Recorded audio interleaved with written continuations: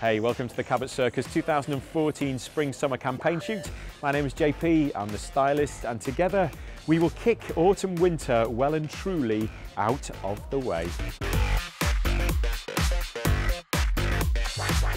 The first look of the day was kind of the youthy element, so it was the buzzwords of street, quirky. So we started with these denims. Obviously picks up on the liquid metallic kind of trend in also the accessories. I mixed in a floral top as well.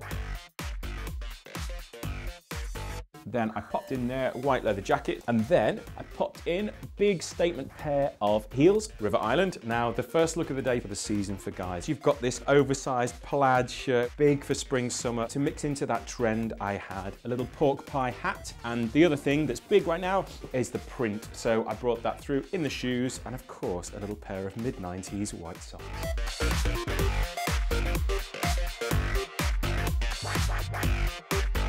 So the second look of the day focused on another massive trend for spring, summer. You'll all be used to it. It's the florals that come through. So I chose to pick up on that. Thank you to this Victoria Beckham number.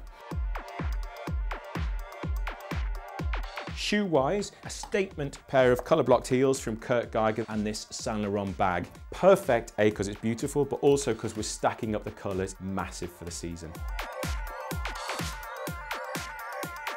So the second look for the guys, come on, it's garden time. You can embrace the inner flower wearer. If it's a bit out there for you, I mixed that with a little accent blazer in there to pick up on some of the blues going through and a skinny jean. And that's finished off with a pair of brown suede shoes from Kurt Geiger. So there you've got head to toe trend.